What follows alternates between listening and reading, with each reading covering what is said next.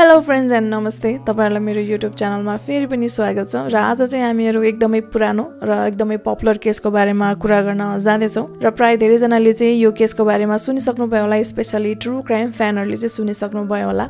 र एभ्री क्रिसमसको टाइममा चाहिँ यो केसको बारेमा सोचिरहेको नै हुन्छु। And this is also one of those case जुन केसले गर्दा चाहिँ मलाई ट्रु क्राइममा इन्ट्रेस्ट लाग्न थालेको थियो बिकज आई स्टिल रिमेम्बर कि यो केस फर्स्ट टाइम सुन्दाखेरि मलाई चित्त नबुझेर म आफैले नै गुगलमा अनि अरूहरूको पोडकास्ट सुनेकी थिएँ गुगल गरेकी थिएँ युट्युबमा भिडियोहरू टन्नै हेरेकी थिएँ इभन कमेन्टहरू ओपिनियन मान्छेको के छ कस्तो छ भनेर पुरै रिसर्च गरेकी थिएँ बिकज यो केस चाहिँ एकदमै इन्ट्रेस्टिङ लागेको थियो।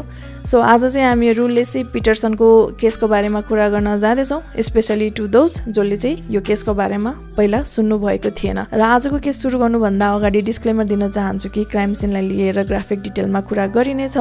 र स्पेसली आमाहरूलाई र महिलाहरूलाई चाहिँ आजको केस अलि हेभी हुनसक्छ अलिक गाह्रो हुनसक्छ। सो त्यस्तो केही फिल अनकम्फर्टेबल फिल भयो भने गाह्रो भयो भने चाहिँ भिडियो त्यही बेला स्किप गर्न सक्नुहुन्छ। सो आजको केसतर्फ लागौँ।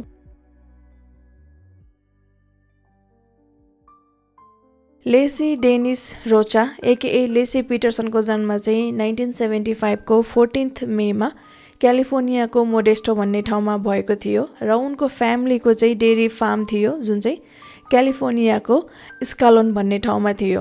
अनि उनको एकजना दाई पनि थियो ब्रेन्ट रोचा नाम गरेको। लेसी सानै हुने बेलामा नै उनको बुवा र आमाको चाहिँ डिभोर्स भएको थियो। त्यसपछि लेसी र उनको दाई चाहिँ आमासँग मोडेस्टो भन्ने ठाउँमा सिफ्ट भए। अनि विकेन्डको बेलामा चाहिँ लेसी र उनको दाई चाहिँ यता बुवाबाट फार्ममा आउने गर्थे अनि बुवासँगै टाइम स्पेन्ड गर्ने गर्थे। अनि उनीहरूको बुवा र आमाको डिभोर्स भएको लगभग यस्तै एक वर्षपछि चाहिँ उनकी आमा स्यारनले रन नाम गरेको पुरुषसँग विवाह गरिन् र नाइन्टिन एट्टी वानमा स्यारन र रनबाट चाहिँ अर्की छोरी जन्मेकी थिइन् जसको नाम चाहिँ एमी राखेका थिए। अनि उनीहरूको फ्यामिली चाहिँ मिडल क्लास फ्यामिली थियो। लाइफ एकदमै सिम्पल र नर्मल थियो। लेसी टिनेज बेलामा एकदमै एथलेटिक थिइन्। उनी मिडल स्कुल र हाई स्कुलमा हुने बेलामा चाहिँ चेयर लिडर पनि थिइन्। अनि स्कुल सकाएपछि चाहिँ उनले क्यालिफोर्निया पोलिटेक्निक स्टेट युनिभर्सिटीमा चाहिँ अर्नामेन्टल हर्टिकल्चरमा मेजर गरिन्। अनि अर्नामेन्टल हर्टिकल्चरमा चाहिँ प्लान्टलाई फ्लावरलाई कसरी ग्रो गर्ने र यसलाई मार्केटमा कसरी लाने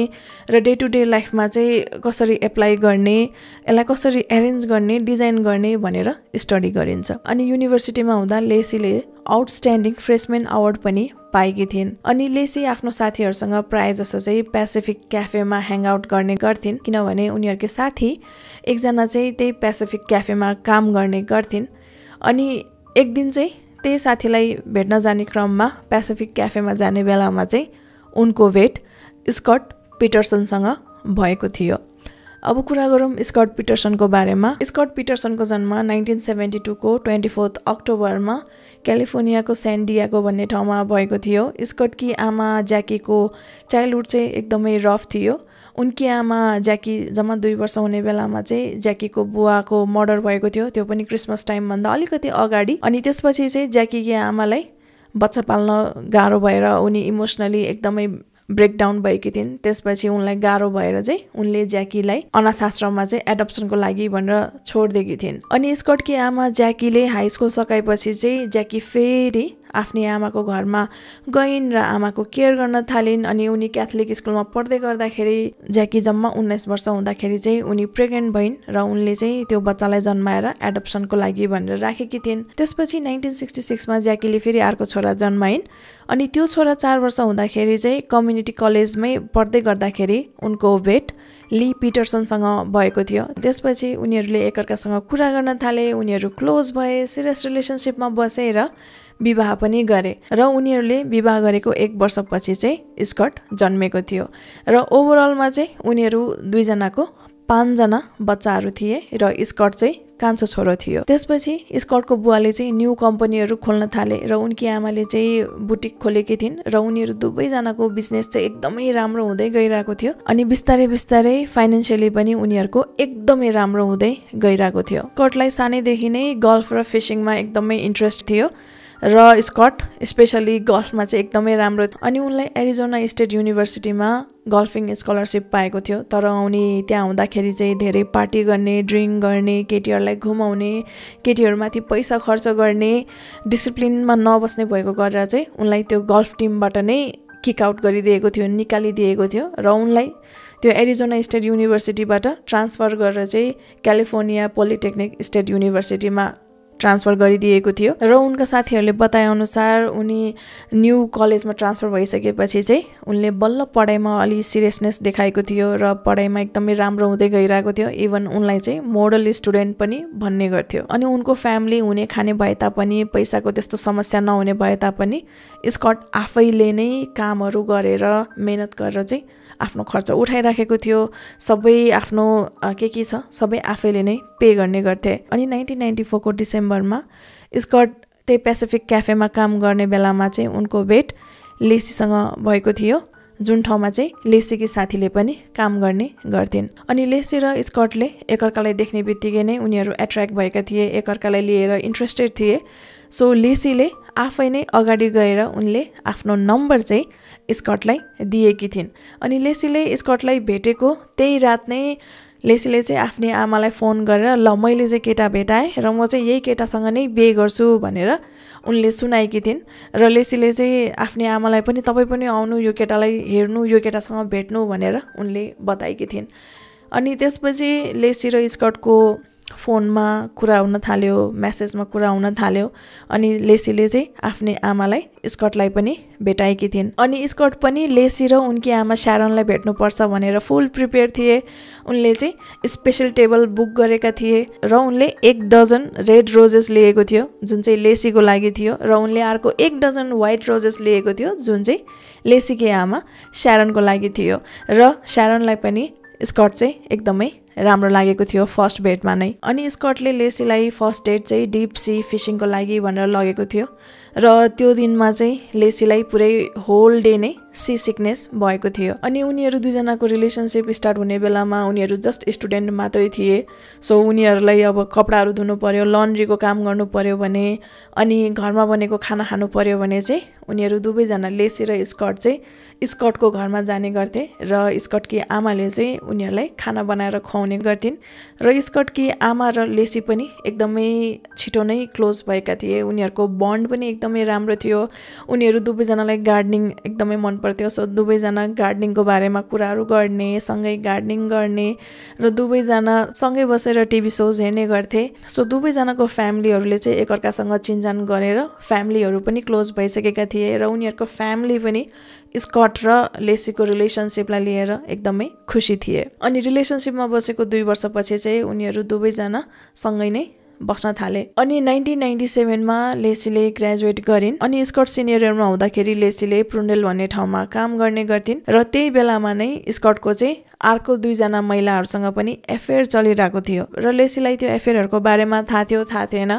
त्यो चाहिँ मेन्सन गरेको छैन। बट नाइन्टिन नाइन्टी सेभेनको नाइन्थ अगस्तमा चाहिँ लेसी र स्कटले विवाह गरे। अनि नाइन्टिन नाइन्टी एटको जुनमा स्कटले ग्रेजुएट गरे। अनि स्कटको बुवाले चाहिँ उनीहरूलाई वेडिङ गिफ्ट भनेर तिस हजार डलर दिएको थियो। जुन तिस हजार डलरले चाहिँ स्कट र लेसीले एउटा स्पोर्ट बार रेस्टुरेन्ट खोले जुनको नाम चाहिँ उनीहरूले द स्याक भनेर राखेका थिए। अनि सुरु सुरुमा त बिजनेस स्लो नै चल्दै थियो तर पछि पछि बिस्तारै स्पेसली विकेन्डमा चाहिँ एकदमै राम्रो चल्न थालेको थियो। अनि पछि लेसी र स्कटले त्यो स्पोर्ट बार बेचिदिए।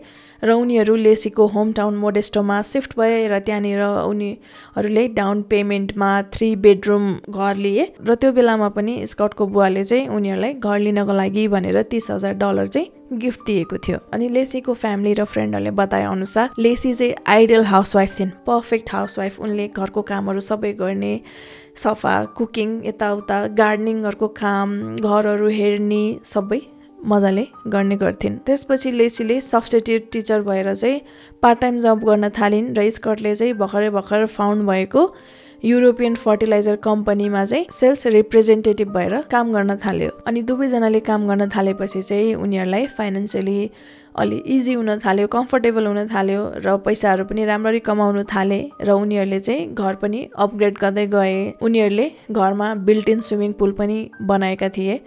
अनि त्यसपछि स्कटको बुवाले चाहिँ उनीहरूलाई फेरि तिस हजार डलर चाहिँ गिफ्ट गरेको थियो। अनि त्यो बेलामा स्कटले उनको बुवाले दिएको जुन त्यो पैसा थियो त्यो पैसा चाहिँ उनले प्राइभेट क्लबमा गएर तिरे। जुन क्लबमा चाहिँ मान्छेहरूलाई फ्रीमा गल्फ खेल्न पाउने फ्रीमा टेनिस खेल्न पाउने जिम गर्नु पाउने ड्रिङ्कहरूको खानाहरूको पुरै सुविधा दिइन्थ्यो। जोइन गर्नको लागि पनि पहिला चाहिँ इन्भिटेसन आउनु पर्थ्यो। र त्यो क्लब जोइन गर्ने भनेको हुने खानेहरूले पैसा हुनेहरूले मात्रै हो। अनि लेसी र स्कटले अब चाहिँ फ्यामिली बनाउनु पर्छ भनेर उनीहरूले बच्चा पाउने ट्राई गरे।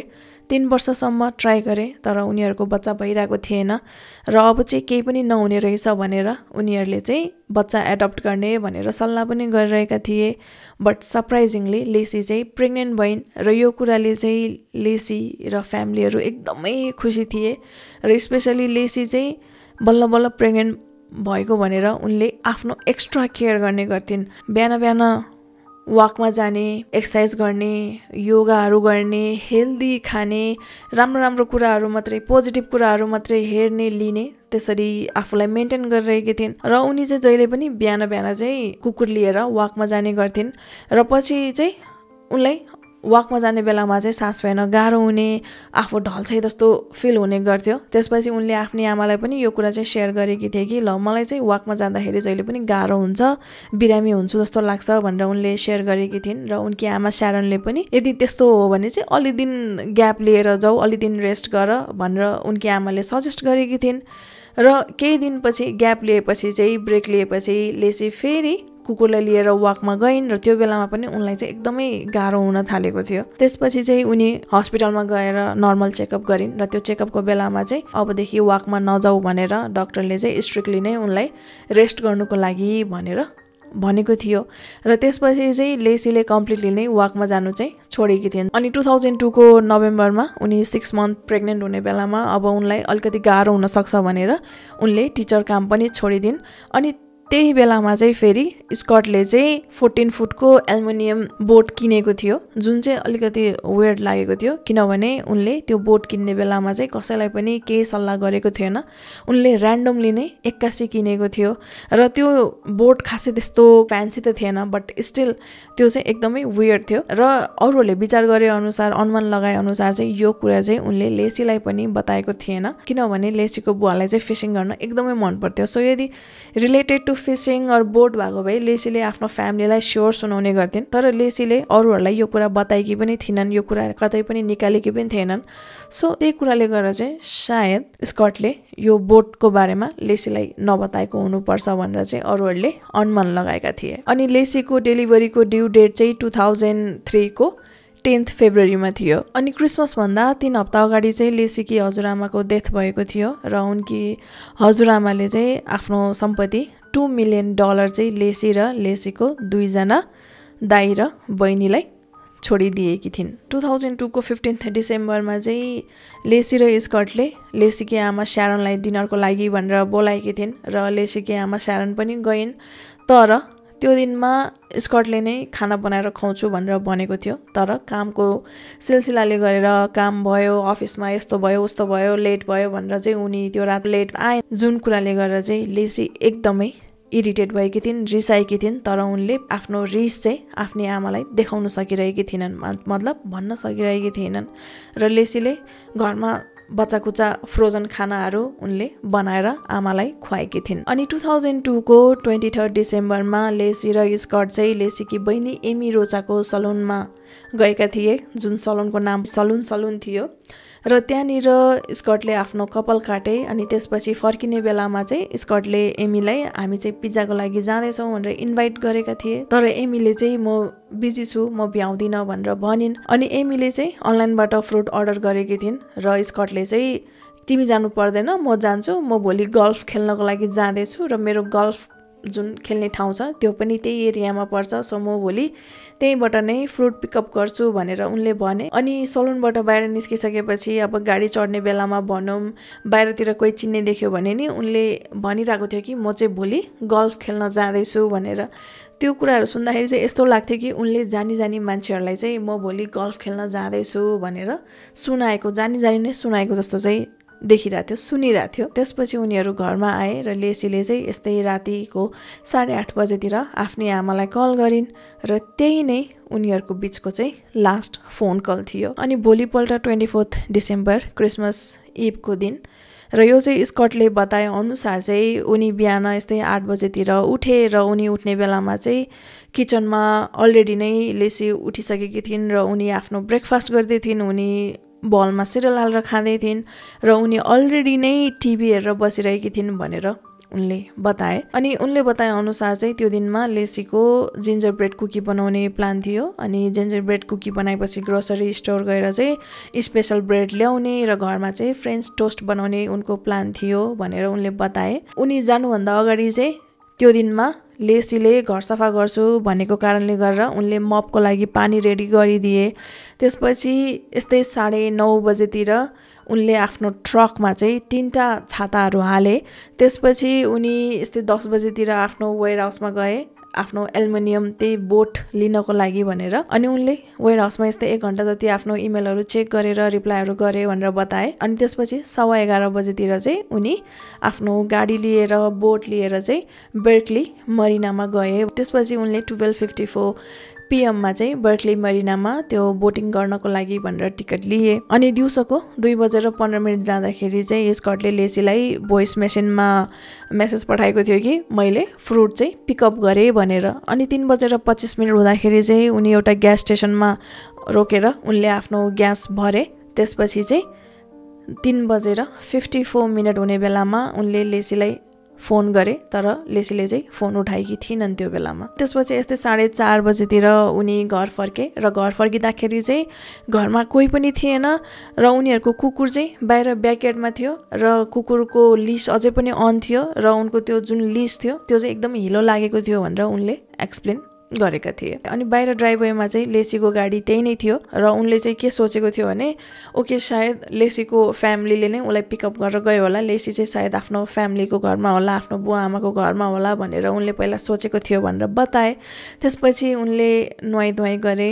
आफ्नो लुगाहरू सबै धुए। उनले बताए अनुसार है अनि त्यसपछि उनले आफ्नो भोइस मेसिन चेक गर्दाखेरि चाहिँ त्यहाँनिर लेसीको बुवाको मेसेज थियो भनेर बताएको थियो। जुन मेसेज सुनेर चाहिँ लेसी चाहिँ घरमा पुगेको छैन रहेछ भनेर उनले रियलाइज गरे भनेर उनले यस्तै पाँच बजीतिर लेसीको फ्यामिलीलाई चाहिँ लेसी त्यहाँ छ भनेर फोन गरे। अनि लेसीको फ्यामिलीले चाहिँ लेसी यहाँ आएको छैन भनेर बताए। पछि स्कटले चाहिँ पुरै अब ल लेसी चाहिँ हरायो लेसी मिसिङ भयो भनेर उनले भन्न थाले। अनि लेसीको आमाले चाहिँ पहिला लेसीको साथीहरूलाई पनि फोन गर कहाँ छ के छ कन्फर्म गर भनेर उनले सजेस्ट गरेकी थिइन्। बट स्कट चाहिँ पुरै ल लेसी अब हराइन् मिसिङ भइन् भनेर भनिरहेको थियो। र त्यो कुरा सुनेर चाहिँ लेसीको आमालाई अलिकति वेयर्ड लागेको थियो। किनभने उनले चाहिँ त्यो मिसिङ वर्ड युज गरे गरेको गरेकै थियो।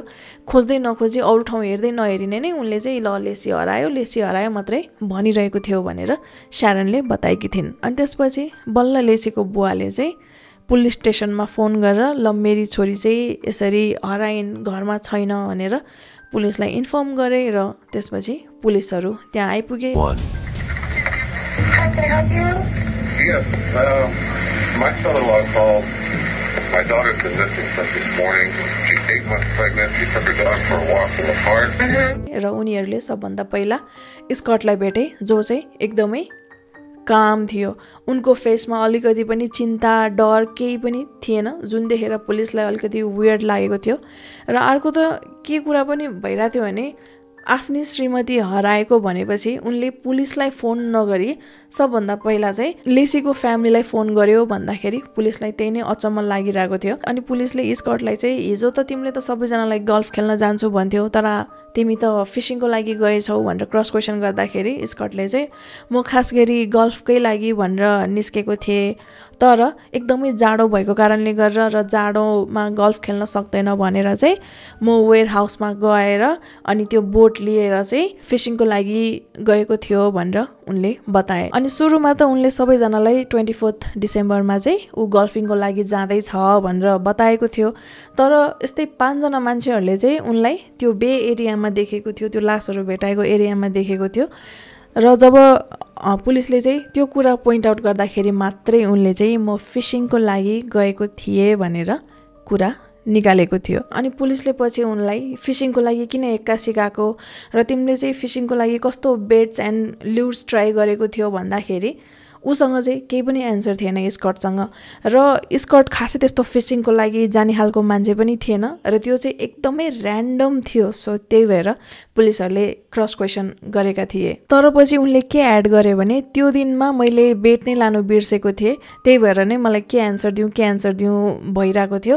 र मैले बेड बिना नै माछा मार्ने ट्राई पनि गरेको थिएँ तर पछि म भिजिसकेको भएर मलाई एकदमै जाडो भएर म घर फर्केँ भनेर उनले बताए। र पुलिसलाई चाहिँ उनको बिहेभियरहरू देखेर पनि र कुराहरू सुनेर पनि पहिल्यैदेखि नै उनलाई प्राइम सस्पेक्टमा राखिरहेका थिए। अनि पुलिसहरूले लेसीको फ्यामिलीलाई पनि स्कटलाई लिएर आफ्नो केही शङ्का छ लाइक केही डाउटहरू छ भनेर सोद्धाखेरि लेसीको फ्यामिलीले चाहिँ हामीलाई हाम्रो ज्वाइँमाथि त्यस्तो केही पनि शङ्का छैन भनेर उनीहरूले बताएका थिए। पछि पुलिसहरूले छिमेकीहरूलाई क्वेसन गर्दाखेरि छिमेकीहरूले चाहिँ ट्वेन्टी फोर्थ डिसेम्बरमा बिहानको यस्तै नौ दस बजेतिर उनीहरूले स्कट लेसीको कुकुर म्याकेन्जीलाई चाहिँ एक्लै नै पार्कमा डुलिरहेको त्यही नेबरहुडमा डुलिरहेको देखेको र म्याकेन्जीको घाँटीमा चाहिँ अझै पनि लिस नै थियो तर एकदमै हिलो लागेको थियो भनेर उनीहरूले बताएका थिए। पुलिसले अब घर चेक गर्दाखेरि घरहरू सर्च गर्दाखेरि चाहिँ लेसीको पर्स कार किस र उनको ज्वेलरी चाहिँ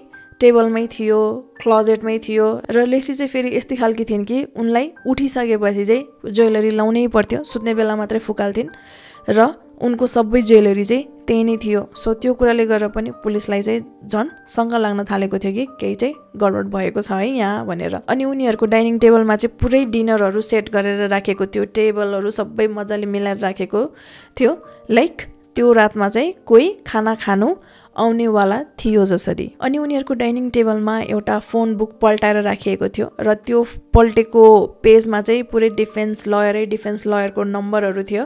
अब त्यो कोइन्सिडेन्ट पनि हुनसक्छ अब त्यो जानी जानी नै डिफेन्स लयर खोजेको पनि हुनसक्छ जे पनि हुनसक्छ बट पुलिसहरूलाई चाहिँ स्कटमाथि झन् बेसी शङ्का लाग्दै गइरहेको थियो। अनि लेसी हराएकै दिनमा लेसीको बुवा आमाले चाहिँ स्कटलाई फोन गरेर ल हामी चाहिँ अब डग पार्क जाँदैछौँ जहाँ चाहिँ लेसीले कुकुर डुलाउन लगेकी थिइन्।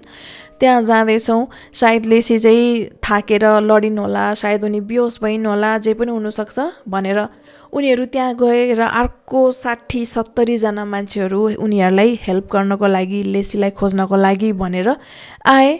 तर स्कट चाहिँ आरामले पुलिसहरूसँग आइरहेको थियो। पुलिसहरू फायर फाइटरहरू सब मिलेर जुन ठाउँमा म्याकेन्जी डगलाई भेटेको थियो कुकुरलाई भेटेको थियो त्यो एरियामा सबै खोज्न थाले र मान्छेहरू पनि भलुन्टियरहरू चाहिँ आएको थियो लेसीलाई खोज्नको लागि भनेर र लेसीको बुवा आमाले चाहिँ पुरै टिभीमा इन्टरभ्यूहरू पनि दिएको थियो। उनीहरूलाई चाहिँ शङ्का लागिरहेको थियो कि सायद लेसीलाई चाहिँ कसैले किडन्याप गरेको हुनसक्छ पैसाको लागि किडन्याप गरेको हुनसक्छ भनेर उनीहरूले टिभीमा आएर चाहिँ इन्टरभ्यूहरू दिएर र लेसी कहीँ छ भने घर आऊ या फेरि मेरी छोरीलाई छोडिदेऊ भनेर यसरी मेसेजहरू दिइरहेका थिए। अनि सुरुमा चाहिँ लेसीलाई भेटाउनेलाई पच्चिस हजार डलर दिने भनेर रिवार्ड राखिएको थियो र पछि त्यो रिवार्ड बढाएर चाहिँ दुई लाख पचास हजार डलर दिने भनेर राखिएको थियो र पछि फेरि त्यो पनि बढाएर चाहिँ पाँच लाख डलर चाहिँ दिने भनेर रिवार्ड राखिएको थियो। तर पनि खासै केही पनि टिपहरू आइरहेको थिएन। अनि लेसे हराएको यस्तै एक हप्तापछि चाहिँ पुलिसलाई एउटा फोन कल आएको थियो जुन फोन कल चाहिँ एम्बर फ्राई भन्ने महिलाले गरेकी थिइन् र उनले चाहिँ म चाहिँ स्कटकी गर्लफ्रेन्ड हुँ भनेर आफ्नो परिचय दिएकी थिइन्। अनि टु थाउजन्ड टूको नोभेम्बरमा लेसी प्रेग्नेन्ट हुने बेलामा चाहिँ स्कट एउटा बिजनेस ट्रिपको लागि भनेर गएको थियो र त्यहाँनिर चाहिँ उनकी एकजना साथी थिइन् सिन सिब्ली नाम गरेकी महिला थिइन्। र उनले चाहिँ आफ्नै साथी सेन्सिब्लीसँग चाहिँ अलि फ्लट गरिरहेको थियो अनि तिम्रो फेभरेट सेक्स पोजिसन के हो भनेर यस्तै यस्तै उटपट्याङ क्वेसनहरू गरिरहेको थियो। तर सेन्सिब्लीले चाहिँ सिधै म चाहिँ इङ्गेज हुँ मेरो चाहिँ अब यसरी फियोन्से छ र मलाई अरूहरूसँग चाहिँ केही पनि यस्तो कुरामा इन्ट्रेस्ट छैन भनेर उनले क्लियरली बताइन् र उनले चाहिँ अर्को कुरा के पनि भनिन् भने मेरो एकजना साथी छ जो चाहिँ सिङ्गल छ सायद तिमीहरूको के हुनसक्छ भनेर उनले नै स्कट र एम्बर फ्राईको चाहिँ भेट गराइदिएकी थिइन्। त्यसपछि एम्बर र स्कटले कुरा गर्न थाले र उनीहरूको फर्स्ट डेट चाहिँ बारमा थियो अनि बारमा कुरा गरिसकेपछि उनीहरूको जापानिज फुड खान जाने प्लान थियो। तर स्कटले चाहिँ जापानिज फुड खान जानुभन्दा अगाडि म होटेलमा गएर नुहाइ धुवाइ गर्न चाहन्छु। म दिनभरि हिँडेर काममा हिँडेर चाहिँ अलिकति फोहोर फिल गरिरहेको छु। म फ्रेसन अप हुन्छु क्लिन हुन्छु भनेर उनले बताए। त्यसपछि उनीहरू दुवैजना नै होटेलमा गए अनि स्कट फ्रेस भए। त्यसपछि स्कटले एम्बरलाई पुरै स्ट्रबेरी हालेर स्याम्पाइन दिए। त्यसपछि उनीहरूले त्यहाँ ड्रिङ्क गरे। ड्रिङ्क गरिसकेपछि उनीहरू बाहिर खानासाना खानु गए। त्यसपछि फेरि होटेलमा नै फर्केर आएर उनीहरूले नाइट स्पेन्ड गरे। एन्ड यदि कसैले फर्स्ट डेटमा नै होटेल लान्छ भने द्याट्स द रेड फ्ल्याग अनि स्कटले चाहिँ लेसीलाई झुट बोलेर मेरो चाहिँ बिजनेसको काम छ बिजनेस ट्रिप छ भनेर उनी घर ढिलो आउने कहिले कहिले घर नआउने गर्थे। तर रियालिटीमा चाहिँ उनी उता पुरा एम्बरसँग फ्यान्सी डेटमा जाने गरिरहेका थिए। अनि थ्याङ्क्स गिभिङको टाइममा चाहिँ एम्बरलाई स्कटसँग टाइम स्पेन्ड गर्नु थियो।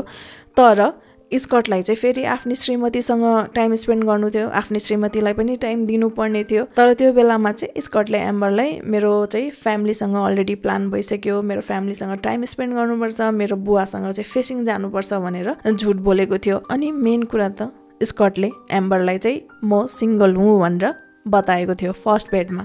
सो एम्बरलाई उनकी श्रीमती छ उनको घरमा यस्तो छ उनकी श्रीमती प्रेग्नेन्ट छिन् भनेर केही पनि आइडिया थिएन। एम्बरलाई केही पनि थाहा थिएन। अनि लेसी हराउनुभन्दा यस्तै तिन हप्ता अगाडि चाहिँ एम्बरकी साथी सिन सिब्लीलाई चाहिँ स्कटको बिहेको बारेमा थाहा भएको थियो। त्यसपछि सिन सिब्लीले चाहिँ म तिमीलाई तिन दिन दिन्छु। तिन दिनमा चाहिँ तिमीले एम्बरलाई आफ्नो बिहेको बारेमा सबै कुरा भन्नुपर्छ। यदि तिमीले आफ्नो सिक्रेट चाहिँ एम्बरलाई भनेन भने म आफै सबै कुरा भनिदिन्छु भनेर उनले चाहिँ वार्निङ दिएकी थिइन्। अनि त्यसपछि स्कटलाई एकदमै टेन्सन पर्न थाल्यो के गर्ने के गर्दा ठिक हुन्छ भनेर उनले पुरै तिन दिन लगाएर सोचे। त्यसपछि चाहिँ उनले अब एम्बरलाई साँचो साँचो भन्नुभयो केही पनि उपाय छैन भनेर उनले एम्बरलाई भेट्नको लागि भनेर बोलाए त्यसपछि चाहिँ स्कटले आफ्नो विवाहको बारेमा बताए। तर उनले अर्को झुट के बोल्यो भने उनकी श्रीमतीको चाहिँ अलरेडी डेथ भइसक्यो र ऊ चाहिँ विडोवर हो भनेर उनले भने। र फर्स्ट भेटमा सिङ्गल हुँ भन्नुको कारण चाहिँ उनको श्रीमती अलरेडी नै मरिसकेको भएर चाहिँ उनले त्यस्तो भनेको भनेर उनले बताए। त्यसपछि एम्बरले पनि त्यो कुरा पत्याइन् र एम्बरले ओके त्यसो भए सबै कुरा ठिक छ भनेर देन उनीहरूले आफ्नो एफेयर कन्टिन्यू गरे। अनि फोर्टिन डिसेम्बरमा चाहिँ एम्बर र स्कटको साथीले पार्टी राखेको थियो जहाँ चाहिँ एम्बर र स्कट पुरै कपाल भएर गएका थिए। उनीहरूको फोटोहरू पनि पुरै इन्टरनेटमा देखिन सकिन्छ। दे वर लुकिङ लभली उनीहरू हेर्दाखेरि पनि ओह they were in so love भन्ने जस्तो देखिन्छ। बट यतापट्टि चाहिँ फेरि ठ्याक्कै त्यही दिनमा फोर्टिन्थ डिसेम्बरमा नै लेसी चाहिँ एक्लै नै पार्टीमा गएकी थिइन् अर्कै क्रिसमस पार्टीमा। र उनलाई अब उनको श्रीमान कहाँ छ भनेर सोद्धाखेरि चाहिँ बिजनेस ट्रिपले गरेर मेरो श्रीमान बिजी छ सो म एक्लै आएँ कि भनेर उनले बताएकी थिइन्। टु थाउजन्ड टूको ट्वेन्टी नाइन्थ डिसेम्बरमा चाहिँ एम्बर एउटा पार्टीमा गएकी थिइन् र त्यहाँनिर चाहिँ उनका साथीहरूले स्कटको बारेमा कुरा गरिरहेका थिए ल स्कटको वाइफको त यस्तो यस्तो भएछ भनेर कुरा गरिरहेका थिए।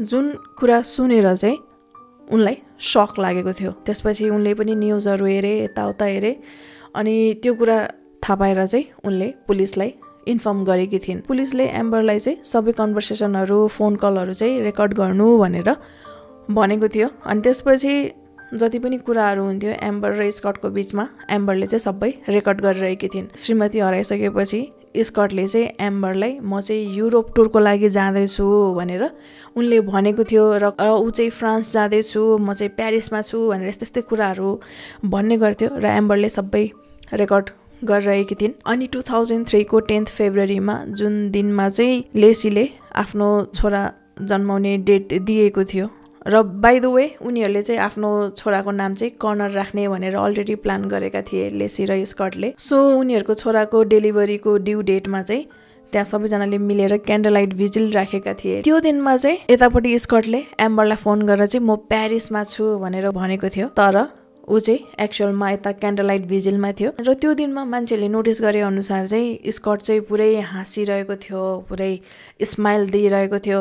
त्यहाँनिर उनलाई हेरेर लाग्दैन थियो कि उनको श्रीमती र छोराको केही भएको छ भनेर। उनलाई केही टेन्सनै थिएन ऊ जस्ट एकदम काम एकदम शान्ति केही पनि उनलाई हेरेर केही टेन्सनै छ जस्तो पनि लाग्दैन थियो। अनि सुरुमा लेसीको फ्यामिलीले चाहिँ पुलिसहरूले जति नै शङ्का गरे पनि स्कटलाई फुल सपोर्ट गरिरहेका थिए। होइन हाम्रो ज्वाइँ त एकदम इनोसेन्ट छ जे जस्तो भए पनि हाम्री छोरीलाई यस्तो गर्नु सक्दैन भनेर उनीहरूले फुल सपोर्ट गरिरहेका थिए। तर पछि एम्बर आइसकेपछि चाहिँ उनीहरूलाई शङ्का लाग्न थाल्यो। बिकज पहिला त केही मोटिभ थिएन नि त त्यस्तो केही गर्नको लागि। यदि केही गरिहाल्यो भने नि किन गर्ने भनेर मोटिभ थिएन। तर जब उनीहरूको एफेयरको बारेमा न्युज आयो तब चाहिँ लेसीको फ्यामिलीलाई शङ्का लाग्न थाल्यो कि सायद एम्बरसँग हुनलाई हाम्रो छोरीलाई केही गरेको हुनसक्छ भनेर। अनि जब मिडियाले एम्बर र स्कटको एफेयरको बारेमा थाहा पाए तब चाहिँ मिडियाले एम्बरको बारेमा चाहिँ पुरै नराम्रो नराम्रो न्युजहरू छापेको थियो आर्टिकलहरू छापेको थियो। त्यसपछि चाहिँ जबरजस्ती नै एम्बरलाई चाहिँ पब्लिकमा आउनु परेको थियो र उनले चाहिँ आफ्नो पार्ट अफ द स्टोरी सुनाउनु परेको थियो। अनि एम्बरलाई त्यसरी पब्लिकमा फोर्सफुल्ली आउनु परिसकेपछि चाहिँ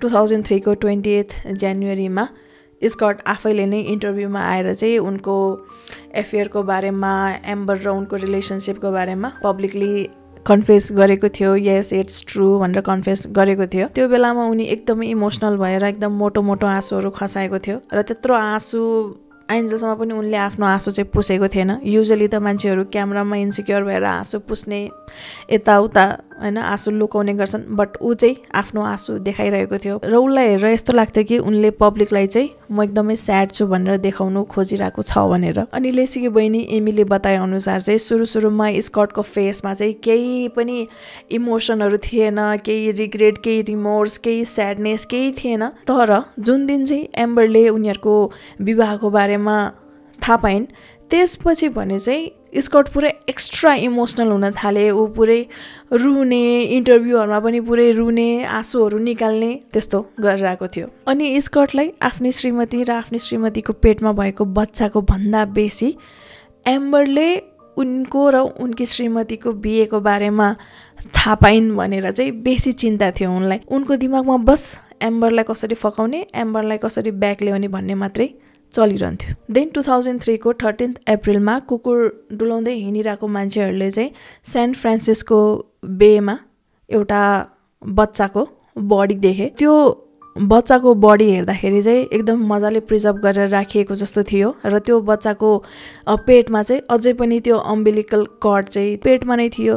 त्यसपछि उनीहरूले पुलिसलाई इन्फर्म गरे यसरी बच्चा भेट्यो भनेर। अनि उनको हातहरूमा र उनको घाँटीहरूमा चाहिँ मसिनो नाइलनको डोरी भेटाएको थियो। देन भोलिपल्ट फोर्टिन्थ अप्रिलमा त्यही सेन्ट फ्रान्सिसको बेमा नै मान्छेहरू हिँडिरहेको बेलामा उनीहरूले पानीमा अर्को लास भेटाए र त्यो लास हेर्दाखेरि चाहिँ प्रेग्नेन्ट वुमेनको जस्तो थियो गर्भवती महिलाको जस्तो थियो र त्यो लासको चाहिँ फेरि के थियो भने टाउको पनि थिएन यो हातहरू पनि थिएन। अनि एउटा खुट्टाको चाहिँ यो घोडाभन्दा तलको पार्ट थिएन।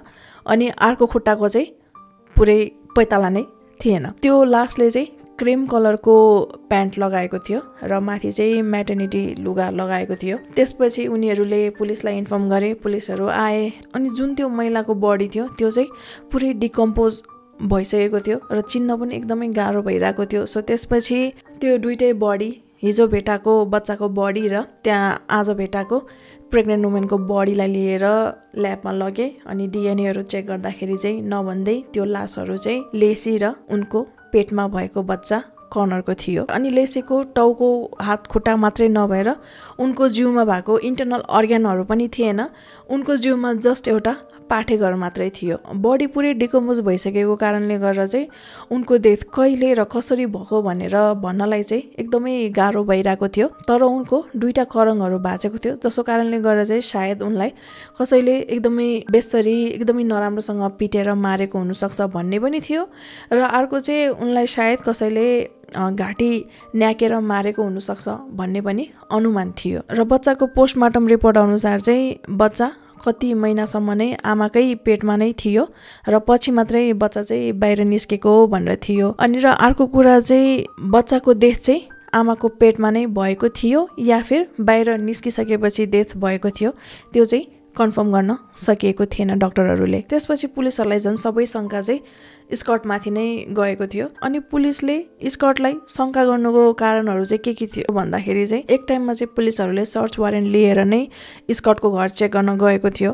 अनि त्यो बेलामा पुलिसहरूले उनीहरूको बेडरुम चेक गरेका थिए। अनि त्यहाँनिर चाहिँ बेडरुममा लेसीको लगाएको कपडाहरू धुनुपर्ने कपडाहरू त्यही नै थियो। त्यो दिनमा लेसी हराएको दिनमा चाहिँ स्कर्टले पुरै लुगाहरू धोएको थियो। सो यसमा चाहिँ क्वेसन के उठ्छ भने त्यो उनले आफ्नो मात्रै किन धोयो भन्ने कुराहरू पनि आएको थियो। अनि स्कटले टिभीमा इन्टरभ्यू दिँदाखेरि पनि जहिले पनि आफ्नो बुढी र बच्चालाई चाहिँ पास्ट टेन्समा कुरा गर्थ्यो। लाइक लाइक उनलाई थाहा थियो कि उनकी श्रीमती र बच्चाको चाहिँ अलरेडी नै मृत्यु भइसक्यो भनेर। अनि इन्टरभ्यूहरूमा पनि उनले आफ्नो बच्चा कर्नरलाई चाहिँ कहिले पनि आफ्नो छोरा भनेर मेन्सन गर्दैन थियो। उनले जहिले पनि लेसीको बच्चा लेसीको बच्चा भनेर मात्रै भन्ने गर्थ्यो। त्यो कुराले पनि शङ्का लागिरहेको थियो। अर्को त उनको वेयर हाउसमा फेरि चेक गर्न जाँदाखेरि चाहिँ वेयर हाउसमा सामानहरू सबै यताउता गरिसकेको थियो र क्लिन पनि गरिसकेको थियो। जब कि पुलिसहरूले केस नसल्टेसम्म चाहिँ सामानहरू केही नगर्नु केही नछुनु भनेर क्लियरली बताएका थिए। अनि उनको घरको टिभीमा उनले डिफ्रेन्ट डिफ्रेन्ट फोन सब्सक्रिप्सनहरू लिइराखेको थियो। अनि जब पुलिसहरूले उनको कम्प्युटरको सर्च हिस्ट्री चेक गरेको थियो त्यो दिनमा चाहिँ ट्वेन्टी फोर्थ डिसेम्बरमा चाहिँ उनले लासहरू भेटेको ठाउँको चाहिँ वेदरहरू हावाहुरी कस्तो छ के छ भनेर चेक गरेका थिए। अनि वेयर हाउस जाने बेलामा चाहिँ पुलिसहरूले सिमेन्टको एङ्कर देखेको थियो जुन चाहिँ होममेड थियो घरमै बनाएको जस्तो थियो। र पछि लेसीको लास फेला पार्ने बेलामा पनि लेसीको बडीलाई चाहिँ तलसम्म डुबोस् भनेर सेम खालको चाहिँ सिमेन्टको एङ्कर प्रयोग गरिएको थियो। जुन एङ्करले गर्दा पनि उनको बडी कति टाइमसम्म चाहिँ त्यहीँ तल पानीमै थियो। अनि उनको बोटको प्लायरमा चाहिँ एउटा कपाल भेटेको थियो। पुलिसहरूले घर सर्च गर्दाखेरि पनि लेसीको काङ्योबाट चाहिँ एउटा कपाल निकालेर लगेको थियो। र त्यो प्लायर्समा भेटेको कपाल र त्यो ह्यान्ड ब्रसमा भेटेको कपाल चाहिँ टेस्टको लागि भनेर ल्याबमा लगिएको थियो अनि त्यो कपाल चेक गर्दाखेरि चाहिँ त्यो कपाल एउटै मान्छेको हुनुसक्छ त्यहाँनिर चान्सेस धेरै छ। तर त्यो प्लायर्समा भेटेको कपालको चाहिँ फोलिकल मिस भएको कारणले गरेर हन्ड्रेड पर्सेन्ट चाहिँ एउटै मान्छेको हो भनेर कन्फर्म गर्नु सकिँदैन भनेर डक्टरहरूले बताएका थिए। अनि एम्बर र स्कटको फोन कल हुँदाखेरि पनि स्कटले चाहिँ एक टाइममा केही पनि कुरा मेन्सन गरेको थियो भने I am confident our relationship will grow which means उसलाई चाहिँ उनीहरूको रिलेसनसिप राम्रो हुन्छ भनेर एकदमै कन्फिडेन्ट छ आइएम स्योर जस्तो कुराहरू गरेको थियो। अनि यो केस मिडियामा आइसकेपछि स्पेसली एम्बर पब्लिकमा आइसकेपछि चाहिँ अर्को दुईजना महिलाहरू पनि अगाडि आएका थिए र उनीहरूले चाहिँ यो पास्ट टु इयर्समा चाहिँ स्कटसँग एफेयर चलिरहेको थियो भनेर उनीहरूले बताएका थिए र उनीहरूले बताएअनुसार पनि सुरुमा चाहिँ स्कटले आफू सिङ्गल हो भन्ने उनीहरूमाथि पैसा खर्च गर्ने एकदम लग्जरियस फ्यान्सी डिनरमा लाने वाइनहरू पिलाउने त्यस्तो गर्ने र जब ती महिलाहरूले चाहिँ उनको अलरेडी बे भइसकेको बुढी छ भनेपछि चाहिँ उनीहरूले डम्प गरेको भनेर बताएका थिए र दुवैजनाको स्टोरी चाहिँ सेम थियो तर उनीहरूले एकअर्कालाई पनि चिन्दैनथे उनीहरूले लेसीलाई पनि चिन्दैनथे। एक दिन चाहिँ एउटा कार डिलरसिपको मान्छे आएर उनले चाहिँ पुलिसलाई स्कटले चाहिँ जस्ट रिसेन्टली लेसीको कार बेचेर नयाँ ट्रक किनेको छ भनेर इन्फर्म गरे। सो सबै सर्कमस्टेन्सियल एभिडेन्सले चाहिँ उसलाई नै पोइन्ट आउट गरेको भएर स्कटलाई टु थाउजन्ड थ्रीको एटिन्थ अप्रिलमा चाहिँ पुलिसहरू एरेस्ट वारेन्ट लिएर एरेस्ट गर्नको लागि भनेर गएका थिए तर उनी घरमा थिएन। अनि पुलिसहरूले उनको कारमा अलरेडी नै जिपिएस ट्र्याक राखेको थियो। सो त्यो ट्र्याक गर्दाखेरि चाहिँ उनी सेन्डियागोमा थियो र सेन्डियागोमा चाहिँ ऊ आफ्नो बुवा र आफ्नो दाईसँग गल्फ खेलिरहेको थियो गल्फ कोर्समा थियो भनौँ न। र जब पुलिसहरू उसलाई एरेस्ट गर्नको लागि भनेर गए उसलाई देखेर पुलिसहरू छक्क परे।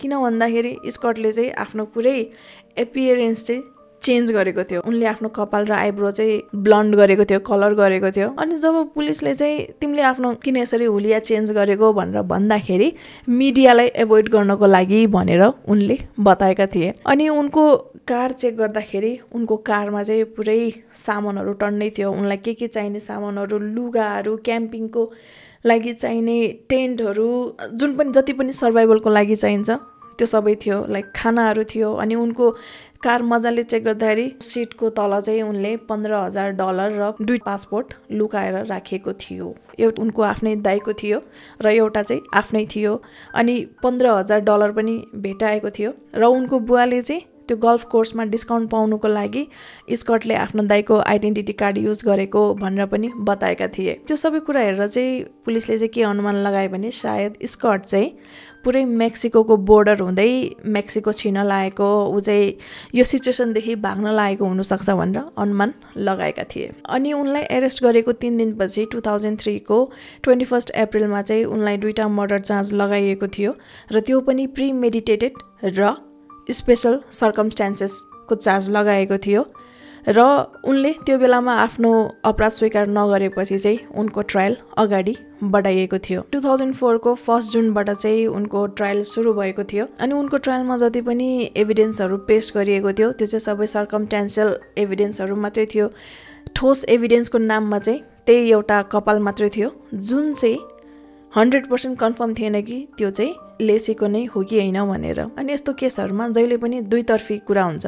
एउटा उसले नै मारेको हो भनेर र अर्को उनले मारेको नहुनु पनि सक्छ भनेर। कतिजनाको चाहिँ के भनाइ भने पुलिसहरूले चाहिँ राम्रोसँग इन्भेस्टिगेट नगरेको भन्ने कुराहरू पनि आएको छ। जस्तै यो केसलाई लिएर चाहिँ चारजना मान्छेहरू आएको थियो विटनेसको लागि र उनीहरूले चाहिँ के बताएका थिए भने चारैजनाले त्यो दिनमा चाहिँ बिहान उनीहरू सबैले नै लेसीलाई चाहिँ कुकुरलाई डोलाइराखेको देखेको थियो भनेर बताएका थिए र उनीहरू चारजनाले एकअर्कालाई चिन्दा पनि चिन्दैनथे दुईजनाले मात्रै लेसीलाई चिन्ने गर्थे अरू बाँकीहरू कसैले पनि लेसीलाई चिन्दैनथे तर पुलिसहरूले चाहिँ यो कुरालाई टोटली इग्नोर गर्यो भन्ने पनि मान्छेहरूको कुरा चाहिँ आएको थियो। अनि अर्को कुरा चाहिँ के पनि आएको थियो भने लेसीले कुकुरलाई डुलाउने टाइममा चाहिँ ठ्याक्कै उनीहरूको अगाडिको घरको छिमेकीकोमा चोरी भइराखेको थियो।